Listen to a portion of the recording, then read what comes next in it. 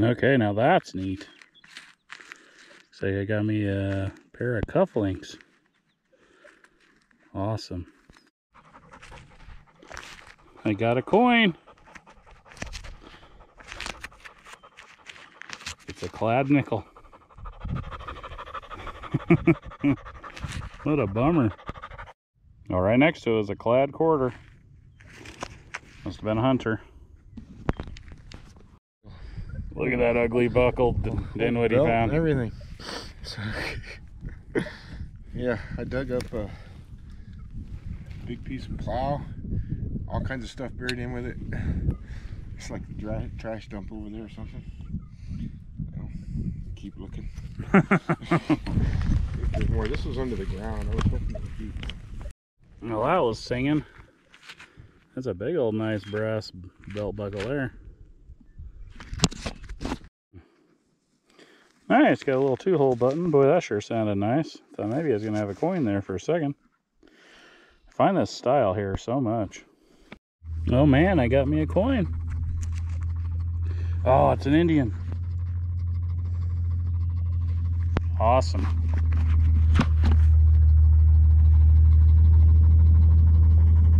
Oh, that's beautiful shape too.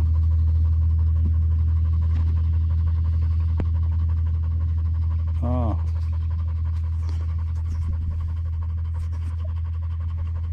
Let me see if I can find a date on this sucker.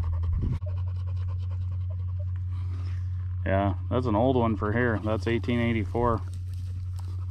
That's before Montana was even a state. How awesome. Part of a suspender. That was coming up at 10.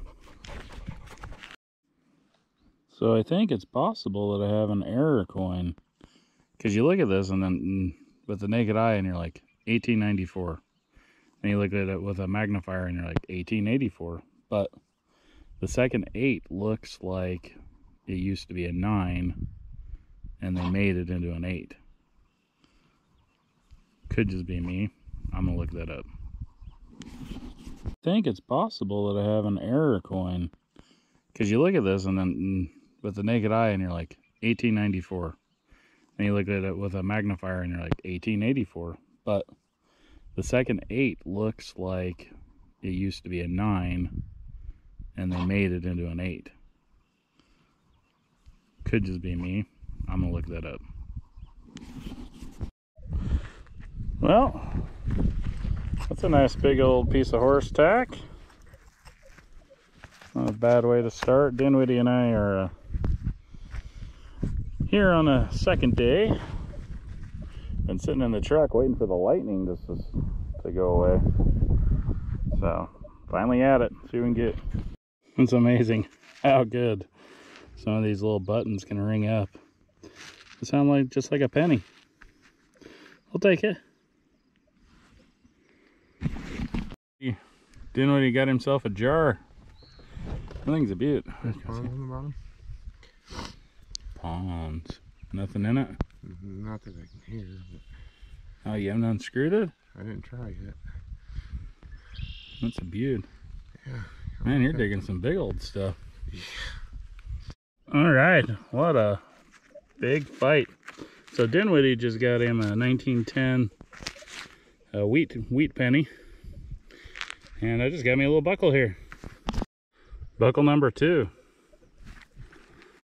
see, we got Woodworth, F. Woodworth or something.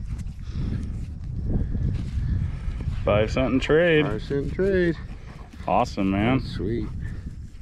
Sounded so good. It was way deep too. Ah, you gotta love getting tokens. About eight inches down. that was awesome. I got something here. What is it? uh, I think it's just a drawer pull. Another F. Woodworth. Just tacoed. And you said this one's a 10 center? I don't know. I can't tell. It's. I think Oh. it's the same. It looks the writing's all the same. That's cool, man. That gives us something to look up. Yeah. There's an old Lee button right out of Dinwiddie's hole. What'd you get? All right, here's button number two out of Dinwiddie's hole. Ugh. also a Lee button, it's just a little smaller. That looks like an old one though. Wonder how far back Lee went. Well, I'm not sure, but I'm thinking that might be a bridle rosette. Okay, well, we never got a picture of uh, Dinwiddie's Wheatie 1910. I don't see a mint mark. And then there's his two tokens. Boom, that's so cool. And you get a little beanie button. And that little thing, whatever it is. That is a washer. Yeah, it sounded really nice.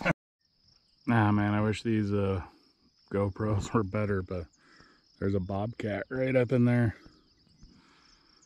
I was just looking at him through my binoculars. Man, they're so pretty. I mean, you'll never see it on here, but dang, that's awesome.